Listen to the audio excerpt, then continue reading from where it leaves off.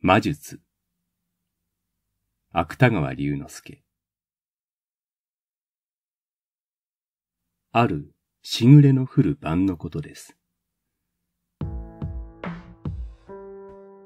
私を乗せた人力車は何度も大森界隈の険しい坂を登ったり降りたりして、やっと竹やぶに囲まれた小さな西洋館の前に舵棒を下ろしました。もうネズミ色のペンキの剥げかかった狭苦しい玄関には、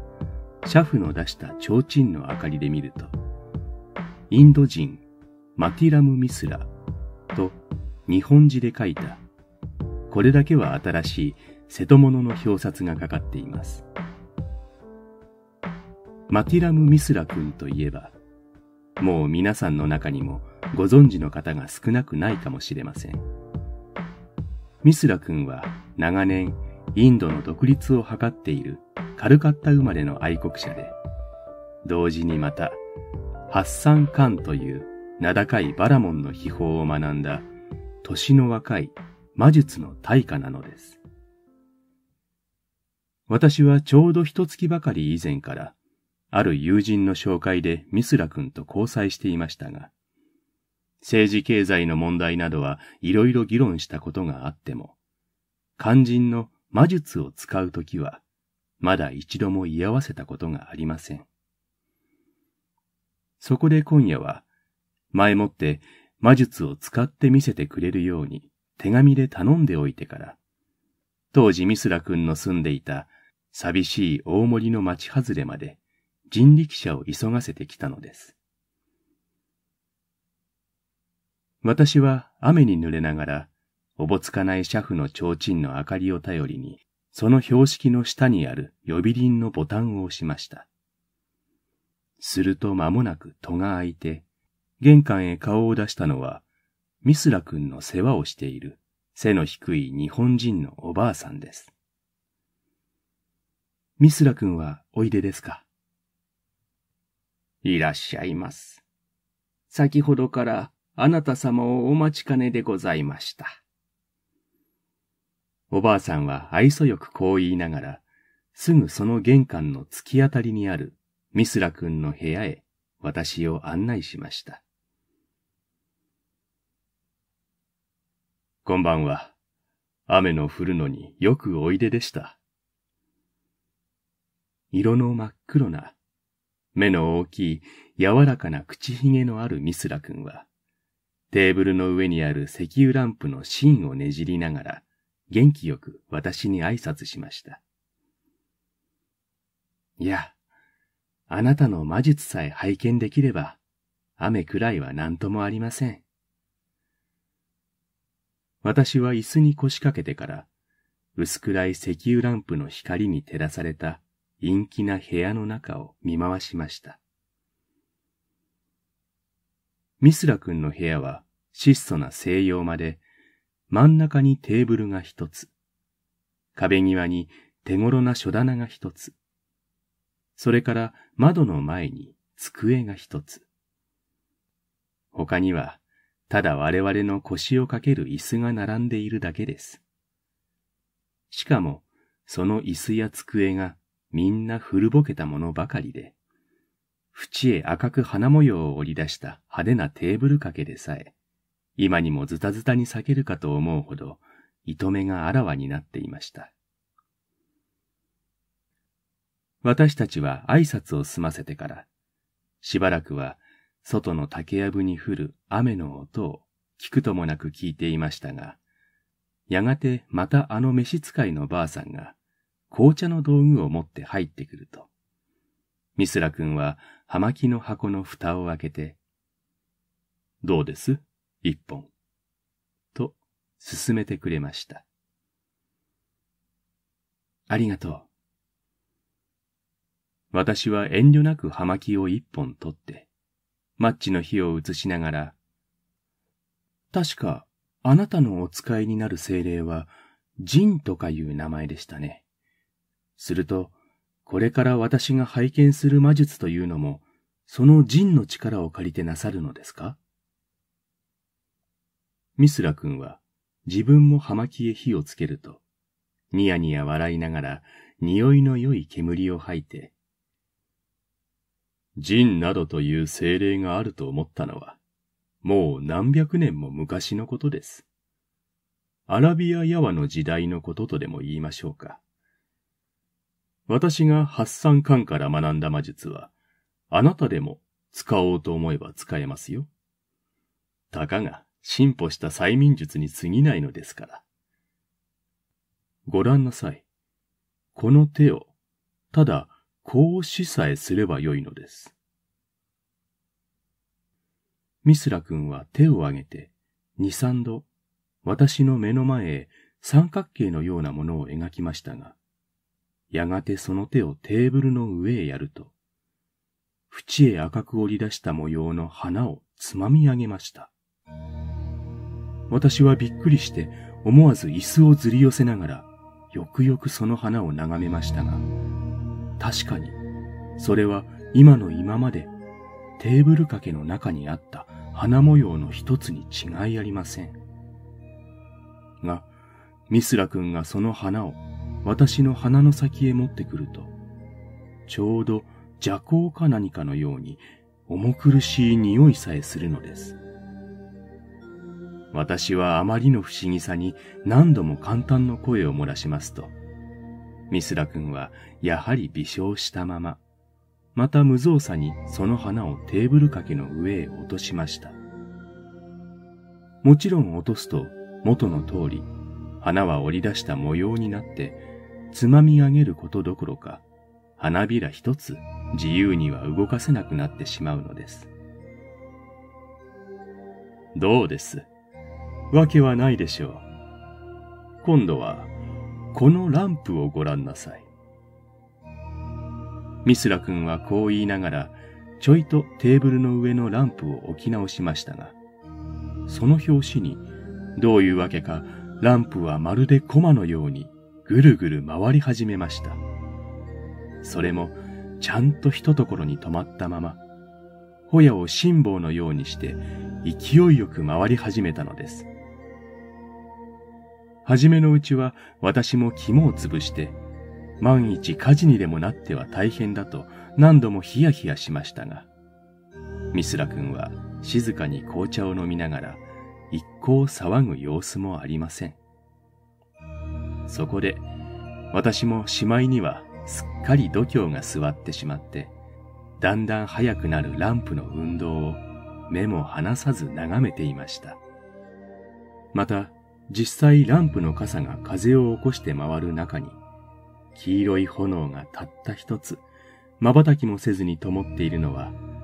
何とも言えず、美しい不思議な見物だったのです。が、そのうちに、ランプの回るのがいよいよ速やかになっていって、とうとう回っているとは見えないほど澄み渡ったと思いますと、いつの間にか前のようにほや一つ歪んだ景色もなく、テーブルの上に座っていました。驚きましたか？こんなことは、ほんの子供騙しですよ。それとも、あなたがお望みなら、もう一つ何かご覧に入れましょう。ミスラ君は後ろを振り返って壁際の書棚を眺めましたが、やがてその方へ手を差し伸ばして、招くように指を動かすと、今度は書棚に並んでいた書物が一冊ずつ動き出して、自然にテーブルの上まで飛んできました。そのまた飛び方が、両方へ表紙を開いて、夏の夕方に飛び交うコウモリのように、ひらひらと宙へ舞い上がるのです。私は、葉巻を口へ加えたまま、あっけに取られて見ていましたが、書物は薄暗いランプの光の中に何冊も自由に飛び回って、いちいち行儀よくテーブルの上へピラミッド型に積み上がりました。しかも、残らずこちらへ移ってしまったと思うと、すぐに最初来たのから動き出して、元の書棚へ順々に飛び帰っていくじゃありませんか。が、中でも一番面白かったのは、薄い仮閉じの書物が一冊、やはり翼のように表紙を開いて、ふわりと空へ上がりましたが、しばらくテーブルの上で輪を描いてから、急にページをざわつかせると、逆落としに私の膝へさっと降りてきたことです。どうしたのかと思って手に取ってみると、これは、私が一週間ばかり前にミスラ君へ貸した覚えがあるフランスの新しい小説でした。長々ご本をありがとう。ミスラ君はまだ微笑を含んだ声で、こう私に礼を言いました。もちろんその時はもう多くの書物がみんなテーブルの上から書棚の中へ舞い戻ってしまっていたのです。私は夢から覚めたような心持ちで、残事は挨拶さえできませんでしたが、そのうちに、さっきミスラ君の言った、私の魔術などというものは、あなたでも使おうと思えば使えるのです、という言葉を思い出しましたから。いや、金がね評判は伺っていましたが、あなたのお使いなさる魔術がこれほど不思議なものだろうとは、実際思いもよりませんでした。ところで、私のような人間にも使って使えないことのないというのは、ご冗談ではないのですか？使えますとも。誰にでも造作なく使えます。ただ、と言いかけて、ミスラ君はじっと私の顔を眺めながら、いつになく真面目な口調になって、ただ、欲のある人間には使えません。発散感の魔術を習おうと思ったら、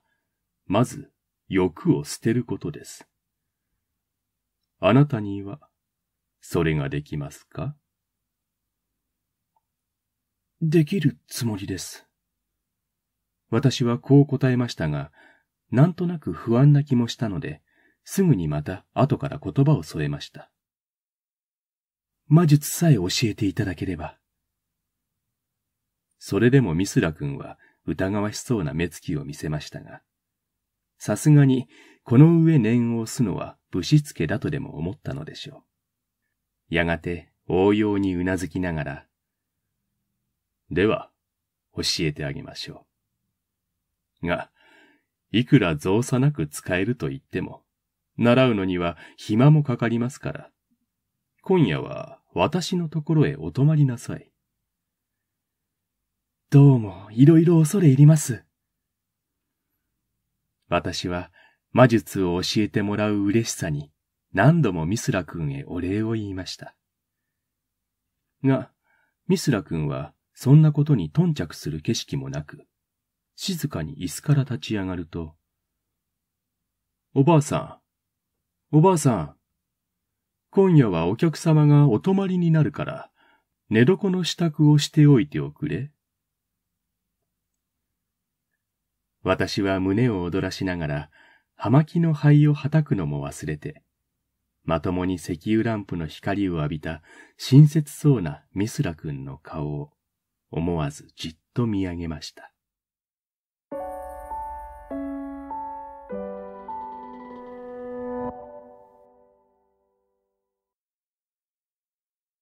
私がミスラ君に魔術を教わってから、一月ばかり経った後のことです。これもやはりザーザー雨の降る晩でしたが、私は銀座のあるクラブの一室で、五六人の友人と暖炉の前へ陣取りながら気軽な雑談にふけっていました。何しろここは東京の中心ですから、窓の外に降る雨足もしっきりなく往来する自動車や馬車の屋根を濡らすせいか、あの大森の竹やぶにしぶくような物寂しい音は聞こえません。もちろん窓の内の陽気なことも、明るい伝統の光といい、大きなモロッコ側の椅子といい、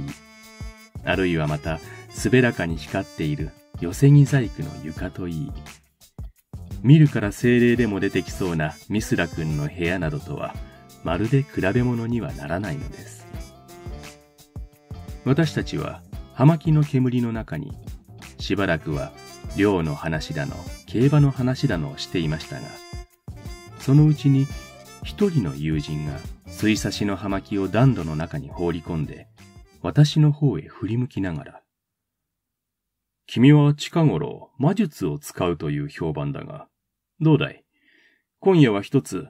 僕たちの前で使ってみせてくれないか。いいとも。私は椅子の背に頭を持たせたまま、さも魔術の名人らしく、王兵にこう答えました。じゃあ、何でも君に一任するから、世間の手品師などにはできそうもない不思議な術を使ってみせてくれたまえ。友人たちは皆賛成だと見えて、天でに椅子をすり寄せながら、促すように私の方を眺めました。そこで、私はおもむろに立ち上がって、よく見ていてくれたまえよ。僕の使う魔術には種も仕掛けもないのだから。私はこう言いながら、両手のカフスをまくり上げて、暖炉の中に燃え盛っている石炭を無造作に手のひらの上へすくい上げました。私を囲んでいた友人たちは、これだけでももう荒肝をひしがれたのでしょう。皆顔を見合わせながら、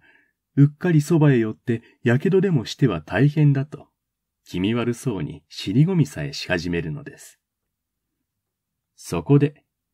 私の方はいよいよ落ち着き払って、その手のひらの上の石炭の火を、しばらく一同の目の前へ突きつけてから、今度はそれを勢いよく寄せ木細工の床へ撒き散らしました。その途端です。窓の外に降る雨の音をあして、もう一つ変わった雨の音がにわかに床の上から起こったのは、というのは、真っ赤な石炭の火が、私の手のひらを離れると同時に、無数の美しい金貨になって、雨のように床の上へこぼれ飛んだからなのです。友人たちは、皆夢でも見ているように、呆然と喝采するのさえも忘れていました。まず、ちょいとこんなものさ。私は得意の微笑を浮かべながら、静かに、また元の椅子に腰を下ろしました。こりゃ、皆、本当の金貨かい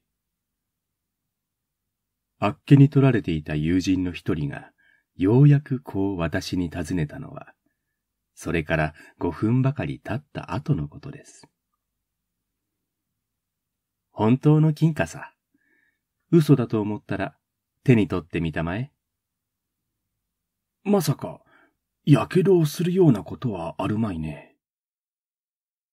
友人の一人は恐る恐る床の上の金貨を手に取ってみましたが。なるほど。こりゃ本当の金貨だ。おい、球児。ほうきとちりとりとを持ってきて、これを皆吐き集めてくれ。球児はすぐに言いつけられた通り、床の上の金貨を吐き集めて、うず高くそばのテーブルへ盛り上げました。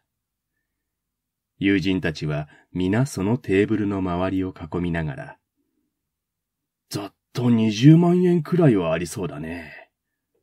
いや、もっとありそうだ。華奢なテーブルだった日には潰れてしまうくらいあるじゃないか。何しろ大した魔術を習ったものだ。石炭の火がすぐに金貨になるのだから。これじゃあ一週間と経たないうちに、岩崎や三井にも負けないような金満家になってしまうだろう。などと、口々に私の魔術を褒めそやしました。が、私はやはり椅子に寄りかかったまま、悠然と葉巻の煙を吐いて、いや、僕の魔術というやつは、一旦抑心を起こしたら二度と使うことができないのだ。だからこの金貨にしても、君たちが見てしまった上は、すぐにまた元の暖炉の中へ放り込んでしまおうと思っている。友人たちは私の言葉を聞くと、言い合わせたように反対し始めました。これだけの大金を元の石炭にしてしまうのはもったいない話だというのです。が、私はミスラ君に約束した手前もありますから、どうしても暖炉に放り込むと、強情に友人たちと争いました。すると、その友人たちの中でも、一番狡猾だという評判のあるのが、鼻の先でせせら笑いながら、君はこの金貨を元の石炭にしようという。僕たちはまたしたくないという。それじゃあ、いつまで経ったところで議論が非ないのは当たり前だろう。そこで僕が思うには、この金貨を元手にして、君が僕たちとカルタをするのだ。そうしてもし君が勝ったなら、石炭にするとも何にするとも自由に君が始末するがいい。が、もし僕たちが勝ったなら、金貨のまま僕たちへ渡したまえ。そうすれば、お互いの申し分も立って、至極満足だろうじゃないか。それでも私は、まだ首を振って、容易にその申し出しに賛成しようとはしませんでした。ところが、その友人はいよいよあざけるような笑みを浮かべながら、私とテーブルの上の金貨とをずるそうにじろじろ見比べて、君が僕たちとカルタをしないのは、つまり、その金貨を僕たちに取られたくないと思うからだろそれなら、魔術を使うために抑心を捨てたとかなんとかいう、せっかくの君の決心も怪しくなってくるわけじゃないか。いや、何も僕は、この金貨が惜しいから石炭にするのじゃない。それならカルタをやりたまえな。何度もこういう押し問答を繰り返した後で、とうとう私は、その友人の言葉通り、テーブルの上の金貨を元手に、どうしてもカルタを戦わせなければならない羽目に立ち至りました。もちろん友人たちは皆大喜びで、すぐにトランプを一組取り寄せると、部屋の片隅にあるカルタ机を囲みながら、まだためらいがちな私を早く早くとせき立てるのです。ですから、私も仕方がなく、しばらくの間は友人たちを相手に、いやいやカルタをしていました。が、どういうものか、その夜に限って、普段は格別カルタ上手でもない私が、嘘のようにどんどん勝つのです。するとまた妙なもので、はじめは気乗りもしなかったのが、だんだん面白くなり始めて、ものの十分と経たないうちに、いつか私は一切を忘れて熱心にカルタを引き始めました。友人たちは、元より私からあの金貨を残らず巻き上げるつもりでわざわざカルタを始めたのですから、こうなると皆焦りに焦って、ほとんど決闘さえ変えるかと思うほど、夢中になって勝負を争い出しました。が、いくら友人たちが躍起となっても、私は一度も負けないばかりか、とうとうしまいには、あの金貨とほぼ同じほどの金高だけ、私の方が勝ってしまったじゃありませんか。すると、さっきの人の悪い友人が、まるで気違いのような勢いで、私の前に札を突きつけながら、さあ、引きたまえ。僕は、僕の財産をすっかりかける。地面も、佳作も、馬も自動車も、一つ残らずかけてしまう。その代わり、君はあの金貨の他に、今まで君が勝った金をことごとくかけるのだ。さあ、引きたまえ。私は、この刹那に欲が出ました。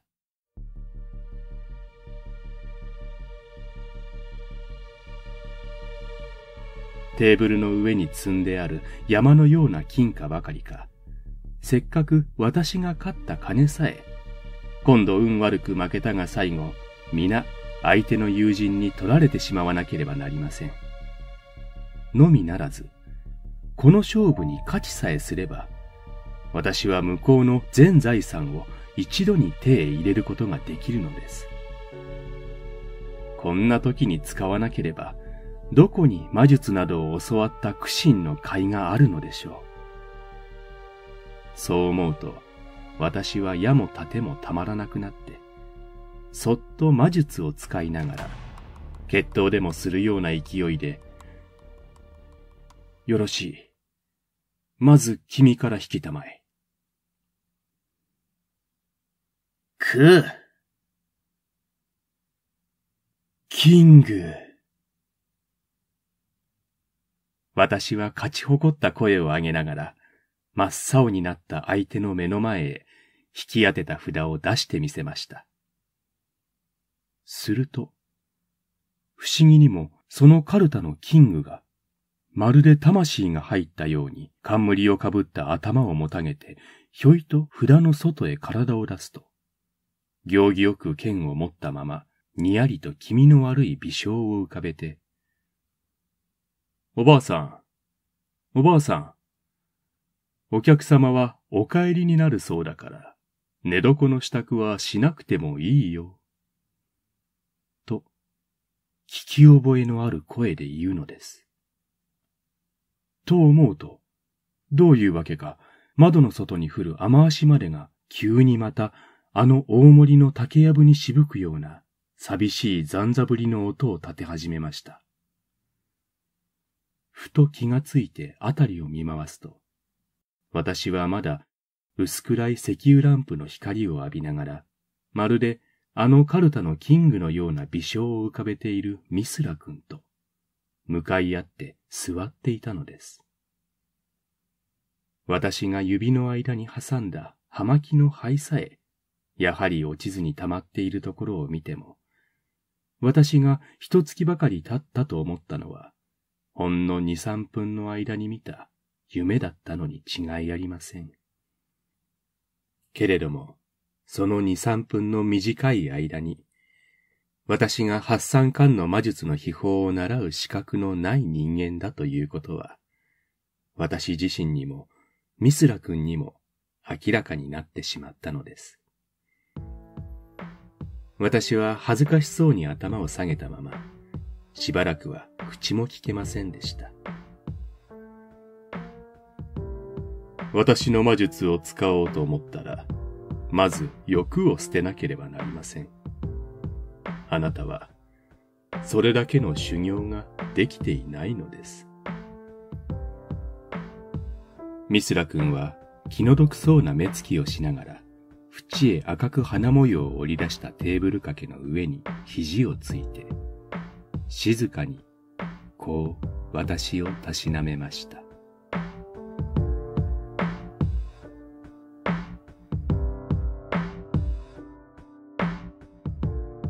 芥川龍之介作魔術お相手は村上陽でした。ではまた。